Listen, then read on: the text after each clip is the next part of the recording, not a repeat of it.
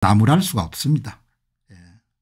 그냥 사회 구성원들이 전부 다 함께 책임을 져야 되는 거죠. 지식인들도 마찬가지고 언론인들도 마찬가지고 이제 오늘 중앙일보를 보다 보니까 이제 과거에 노무현 집권 시에 여러분들 이름을 날렸던 조기숙 씨 예, 이화여대 교수죠. 시대 정신 대변자가 총선에 승리한다. 양극화된 정치 타파야 이런 글을 보고 야 시대 정신 대변자가 총선에 어떻게 성공하냐 총선은 예, 전산 조작을 잘하는 사람이 이겨 이런 이야기가 그냥 툭 튀어나오는 겁니다. 그러니까 지식인들이 다 이렇게 거짓말을 하는 겁니다. 예. 그냥 언론인들도 거짓말하고 제가 거짓말이란 것이 사실과 동떨어진 그런 헛소리들을 다 뭐죠 그 중요한 지면에 다 실어 가지고 그러니까 뭐 나라 전체가 뭐죠 그냥 예. 그냥 헛소리 도가닌 겁니다. 예. 그래서 제가 한번 읽어보니까 조기숙 씨가 시대 정신 대변자가 총선에 승리한다. 제목이 뭡니까 이렇게 거짓말이지 않습니까 예?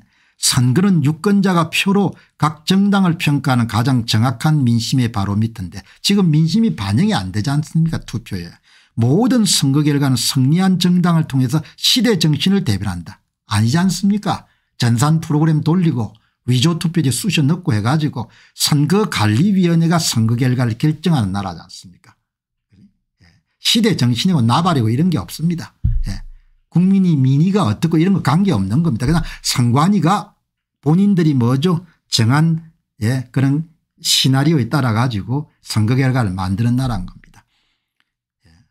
그 이렇게 여러분들 헛소리를 하는 겁니다. 이 헛소리를 또 받아 가지고 예 기자가 여러분들 다이 제목을 예 시대정신 대변자가 예 재보궐선거는 오롯이 정부와 여당을 심판하는 기능을 하지만 총선은 시대정신이 중요하다.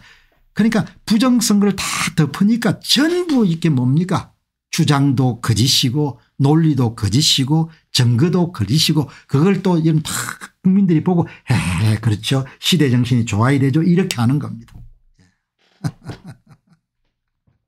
너무너무 비루해져 버린 거죠. 이정은님 말씀을 잘하셨네. 어쩌다 우리나라 보수가 이렇게 저속하고 비루, 비루 해졌는지 어마어마하게 비루한 겁니다. 누구도 나라의 안위와 국민의 여러분들 운명과 관련된 공공재 체제를 지키고 체제를 보유하는 데선 대통령조차 나서지 않는 겁니다. 누구도 그 비용을 치르지 않는 겁니다. 그래서 나는 우리가 외침을 당하게 되면 은 예, 다 이불 속으로 들어가지 밖으로 총 들고 나오는 사람이 있을까란 그런 여러분들 농담 아닌 농담을 할 때가 있는 겁니다. 요즘에 유튜브를 들어가게 되면은 이스라엘 병사들이 요즘에는 다 여러분들 그 본인이 본인 스스로가 전투를 하면서 그게 다 찍히니까 그걸 어젯밤도 보니까 여러분들 이, 이스라엘 젊은 병사 18세 20세 되는 친구들이 얼마나 열심히 싸웁니까 그냥 시가전에서 예.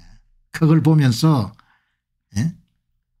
저게 공공재지 않습니까? 그 젊은이들이 그냥 죽으면 그걸로 뭡니까? 공공재에 헌신한 거지 않습니까? 그렇게 싸우겠습니까? 예?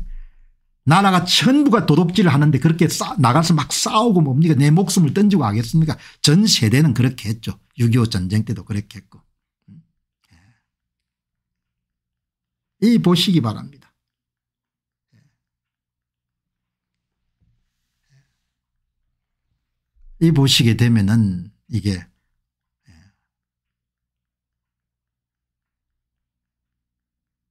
이게 오늘 방송하다 보니까 아까 제주도를 국내 여행객들이 다 외면한다 이렇게 말씀했는데 한 분이 재미난 말씀을 남기셨네요.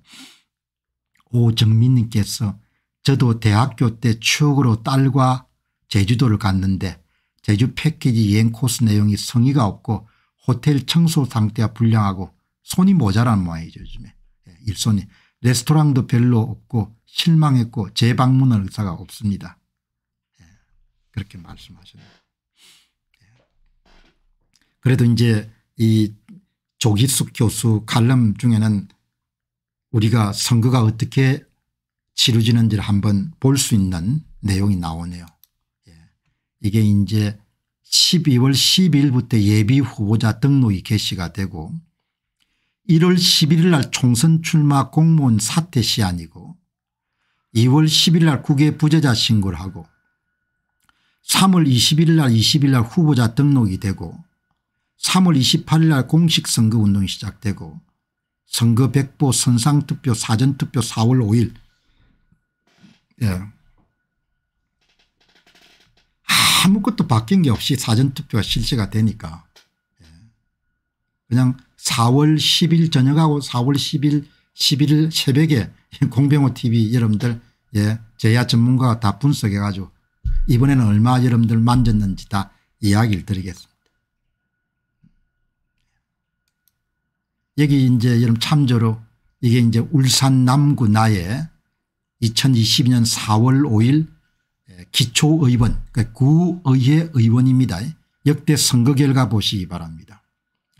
예. 울산 남구는 김기현 전 국민의힘의 당대표 지역구고 울산에서도 보수 색채가 강한 지역입니다.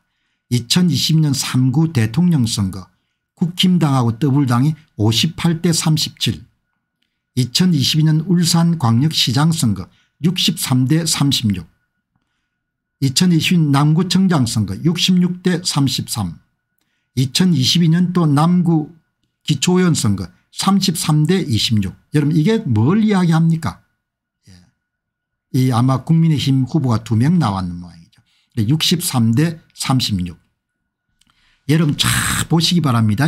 울산시장 선거 남구청장 선거 남구 기초의원 선거들이 대부분 뭡니까 60%대 대 30% 나오지 않습니까 국힘당과 더불당에. 그러니까 그 특정 지역의 정치적 성향은 이렇게 바뀌지 않는 겁니다. 그런데 2023년 또 남구 울산 남구 선거를 보게 되면 49대 50이 된 겁니다. 예. 이 조작을 한 거죠. 예. 통계학적으로 보면 이렇게 나올 수가 없는 겁니다. 울산 광역시에서 보수색자 가장 강한 울산 남구에 예. 역대 선거들은 대부분 뭐죠 국힘당이 우세했는데 남구 선거는 이렇게 바꿔버린 겁니다. 예. 전산 조작을 통해 조작값 15%를 입력해 가지고 예. 뭐 위조 투표지는 투입했는지 모르겠습니다. 예. 위조 투표 투입 안 해도 별로 걱정할 거 없죠. 왜 그 후보가 선거 무효 소송 제기할 리가 없기 때문에 전산만 조작해 버리면 되는 겁니다. 이렇게 남구 기초의원 선거 같은 경우는 전산 조작만 해서 발표하면 그로 끝나는 것이고 이 사람이 정치를 계속해야 되기 때문에 국민의힘 후보가 선거 무효 소송을 제기하거나 그렇게 할 수 없는 거죠. 노란색하고 윗부분 안 보시기 바랍니다. 국힘당의 전통적인 강세 지역에서 이렇게 완전히 물을 매긴 겁니다. 예. 윤 대통령 재임하고 있는 동안에. 그러니까 이게 이러면 우리 함께 주는 것은 대한민국 선거라는 것은 그냥 선관위가 결정하는 거라 이야기죠. 예. 뭐 국민들이 이름 결정한 게 전혀 아니라는 겁니다. 그래서 나경원 씨도 고민이 클 겁니다. 그러나 이런 문제를 해결할 의지가 전혀 없는 겁니다. 다들. 예. 대통령 자신부터 해결할 의지가 없는 겁니다. 예. 선거를 해결한다는 것은 공공재입니다. 공공재. 예. 개인한테 혜택이 잘 안 돌아오는 겁니다. 다 혜택은 모든 사람들이 다 나누어 가지는 겁니다. 그러니까 모든 혜택을 다 나누어 가지니까 체제를 보호하고 선거를 여러분들 개선하기 위해서 누구도 나서지 않는 겁니다. 다 선관위 눈치만 보는 겁니다. 심지어 대통령도 선관위 눈치를 보는 것 같아 제가 볼 때는. 그러니까 투표 관리관 개인 도장 찍는 거 하나까지도 통과를 못 시키는 겁니다. 그러니까 이게 뭐 그냥 예 나라가 그냥 뭐라고 할까 그냥 예 개판 개판 오 개판 5분 전이 아니고 그냥 개판인. 예. 아무도 뭡니까 나라의 체제를 지키기 위해 가지고 선거를 지키기 위해 가지고 누구도 나서지 않는 겁니다. 예. 지식인도 나서지 않고 언론인도 나서지 않고 정치인 더더욱 나서지 않고 심지어 최고봉까지 올라간 대통령조차도 뭡니까 입을 딱 다무는 겁니다. 그럼 뭐 넘어가는 수밖에 없는 거죠. 여기 보시기 바랍니다. 예. 여기 보시게 되면 페르키나 님이 수개표 한다고 선거 투명성이 보장되는 걸 압니다. 수개표가 여러분들 뭐 말씀하셨다 드렸지 않습니까 개함해 가지고 전자투표기 좀 통과시키고 수개표 하겠다는 건데 개함 단계에서 이미 뭡니까 다 위조투표지가 투입된 투표함이 도착했는데 뭐, 뭐 그거 뭐 위조투표지하고 진짜 투표지 여러분들 함께 섞여 있는 것을 다 여러분들 세는데 뭐가 문제가 있겠습니까 그리고 이번에는 이 사람들이 참 머리가 좋습니다. 선관위 사람들이. 왜 머리가 좋은가 하니까 10월 10일 강서구청장 보궐선거에 사용된 신종 사기 수법이 예, 사전투표일을 뻥튀기 하는 거거든요. 사전투표를 뻥튀기 해가지고 위조투표지 위조 사전투표자 수를 만든 다음에 그만큼을 모두 다 더불당 후보한테 더해 주기 때문에 실수 가능성이 굉장히 낮은 겁니다. 실패 가능성이.